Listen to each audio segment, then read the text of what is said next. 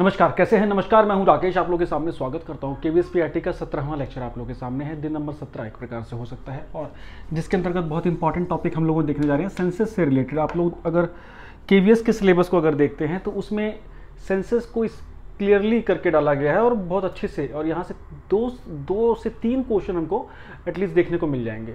आ, इसमें मैंने सीधे कुछ सीधे सीधे रैंडम क्वेश्चंस डाले हैं। देखिए तरीके से ये देखना ज़रूरी है कि 2021 में हमारी लेटेस्ट सेंसस डेटा आने वाले थे, लेकिन कोविड की वजह से अभी तक सेंसस वो हुई नहीं है। और 2011 का सेंसस हमारे सिलेबस में है। अभी तक जो के का सिलेबस है, उसमें 2011 का जो सिलेबस है, वो प्लस पॉपुलेशन ग्रोथ जो इंडिया में हुई है पॉपुलेशन ग्रोथ के ऊपर जो डेवलपमेंट्स हैं, उसके ऊपर से क्वेश्चन आएँगे। है ना? तो मतलब इतिहास से लेके और जो फैक्चुअल जो डिटेल्स है उसके ऊपर। तो हमको एटलीस्ट ये प्रिपेयर करके रखना पड़ेगा। इसमें दो चीज़ें फैक्चुअल डिटेल्स तो हमारी जो आ, आ, क्या कहते हैं ऐतिहासिक पोर्शन की हैं वो तो सेम रहेंगी। बस डेटा जो 2021 का या जब भी आएगा तो वो अपडेट होगा। और आपकी परीक्षा जब होगी उससे पहले हमें तो कुछ होना नहीं है तो इसलिए उससे पहले आपको 2011 वाला डेटा ही याद रखना होगा। मोस्ट प्रोबेबली ये टॉपिक है ये सस्टेन करेगा। आ, इसको हम कह सकते हैं ह्यूमन जोग्राफी या पॉपुलेशन ग्रोथ इन इंडिया है ना? इसका डेवलपमेंट्स क्या है? इसके ऊपर। तो इस इस समूल टॉपिक को देखते हुए मैं ये कुछ क्वेश्चंस लाया हूँ। आप लोगों को क्वेश्चंस करने हैं और मुख्य रूप से आपको ये क्वेश्चंस ये जो, ये ये जो क्वेश्चंस है, ये इजी क्वेश्चंस कंसीडर होंगे। ये पोर्शन इजी कंसीडर होगा। हमें देखो, अपनी परीक्षा में ना कुछ ऐसे सेक्शन चुनने होंगे जहाँ हमें ये कन्फर्म हो जाए कि यहाँ से तो मेरे नंबर नहीं घटने चाहिए।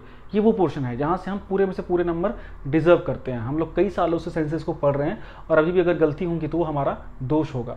चलिए चीज़ों को फटाफट शुरू करते हैं और देखो कितने क्वेश्चन आप लोग को आते हैं। आसान सा ही चीज़ें, आसान सा ही लगेगा आपको। पहला क्वेश्चन जो कि बहुत इंपॉर्टेंट है। सेंसस या जनगणना जिसको हम लोग बोलते हैं, जो हर दस वर्ष पे भारत में होती है, पंद्रह बार हो चुकी है। 2011 में जो सेंसस हुआ था, पंद्रहवीं बार हुआ था वो। ठीक है? आज़ादी के बाद अब तक सात बार सेंसस हो चुकी है। ये कुछ फैक्चुअल चीज़ें हैं। जो सेंसस है, इसका ज़िक्र हमारे क्या कॉन्स्टिट्यूशन में है? यस या नो पहला क्वेश्चन यस है। तो किस जगह पर है? वो है जी आर्टिकल 246 में तो इसको प्लीज़ ध्यान दीजिएगा। अनुच्छेद 246 में 246 में क्लियरली मेंशन है सेंसस के बारे में। तो ये क्लियर हो गया। रजिस्ट्रार जनरल ऑफ़ इंडिया होते हैं जिनके नेतृत्व में ये सेंसस होती है। और 2021 में लेटेस्ट सेंसस जो हमारी जनगणना थी सेंसस था 2021 में सोलहवा, वो ड्यू था, लेकिन वो कोविड की वजह से नहीं हो पाया, जो कि जल्द ही होगा। तो एक चीज़ क्लियर होगी, पहला क्वेश्चन क्लियर दो हज़ार दो सौ छियालीस आर्टिकल जिसमें सेंसस का ज़िक्र किया गया हमारे संविधान में। क्लियर हो गया?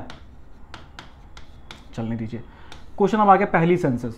सेंसस का इतिहास से जुड़ा हुआ एक क्वेश्चन है। सेंसस के ऊपर अगर देखा जाए तो अट्ठारह में पहली बार कोशिश की गई थी 1872 में, लॉर्ड मेयो के काल में। ठीक?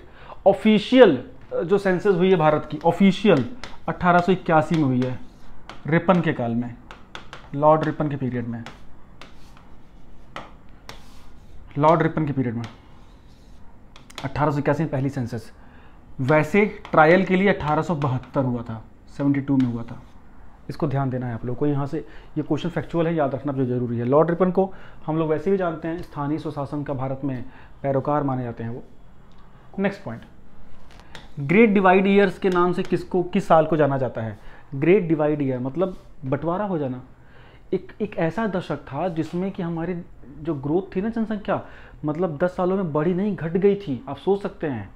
तो क्या उस समय क्या हमारे जो प्रजनन थे, उसमें कमी आई? जी नहीं। देखिए, जो ग्रोथ होती है ना, या जो जनसंख्या में वृद्धि होती है, उसके दो बड़े कारण होते हैं। तो प्रजनन दर मतलब फर्टिलिटी रेशो ज़्यादा होना और लाइफ एक्सपेक्टेंसी भी ज़्यादा होना। अगर दोनों चीज़ें होती हैं तो हमारी चीज़ें तेज़ी से आगे की ओर बढ़ती हैं। और जो चाइल्ड मोर्टेलिटी है, वो घट जाना, है ना? मतलब कि शिशु मृत्यु दर घट जाए, कुल प्रजनन दर बढ़ जाए और लाइफ एक्सपेक्टेंसी भी बढ़ जाए तो वहाँ ग्रोथ ज़्यादा दिखती है। उस समय में अकाल से बीमारियों से बहुत मौतें हुई थी। स्पेनिश फ्लू का पीरियड था, आपको याद होगा, वो बहुत मौतें हुई थी। और जिस वजह से 1911 से लेके 1921 का जो पीरियड था, उसमें नेगेटिव ग्रोथ हुई थी हमारी। और 1921 का जो साल था, उसको ग्रेट डिवाइड ईयर के नाम से जाना जाता है। इससे पहले की जनसंख्या, इसके बाद की जनसंख्या इस प्रकार से।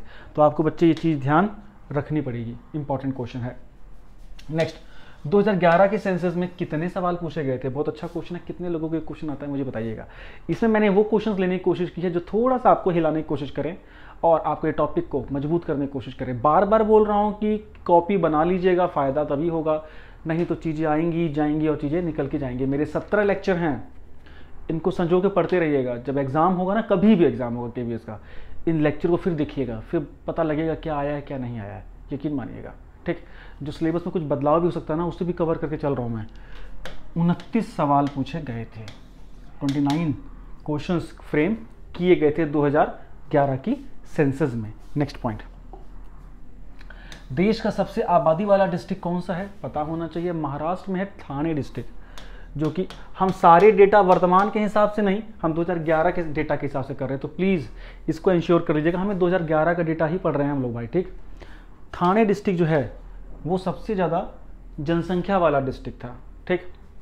नेक्स्ट सबसे कम आबादी वाला डिस्ट्रिक्ट कौन सा है? याद रख लेना, अरुणाचल प्रदेश में एक डिस्ट्रिक्ट है, दिबांग। दिबांग वही जगह है जहाँ से ब्रह्मपुत्रा नदी इनबिल्ट होती है, अंदर अंदर आती है भारत में, दिबांग घाटी। दिबांग घाटी, ठीक है? ये सबसे लीस्ट पॉपुलेशन वाला इलाका था, भारत का। नेक्स्ट इलाका in the sense district negative population in a state population growth Bharat के किस राज्य में नकारात्मक ग्रोथ है मतलब जनसंख्या घटी थी। 2011 में भी। कौन सा ऐसा राज्य था? ये वो राज्य है जिसकी ऑफिशियल लैंग्वेज वहाँ की इंग्लिश है। नाम है नागालैंड। नाम है नागालैंड। के वी एस बी ओ की क्लासेस लगातार चल रही हैं, चाहे तो जुड़ सकते हैं, कोई समस्या हो, आप मुझसे बात कर सकते हैं। टेलीग्राम चैनल अगर अभी तक आपने ज्वाइन नहीं किया ग्रुप का एम विद राकेश का, ज़रूर ज्वाइन करिए बिकॉज़ उस पर क्विजेज आ रही हैं डेली शाम को आठ से साढ़े आठ के बीच में क्विज अपलोड होती हैं। अगर आप वो क्विजेज भी करेंगे ना तो आपको समझ में आएगा कि आपका लेवल कहाँ है। नागालैंड नेगेटिव पॉपुलेशन ग्रोथ हुई थी 2011 के सेंसस में, नकारात्मक।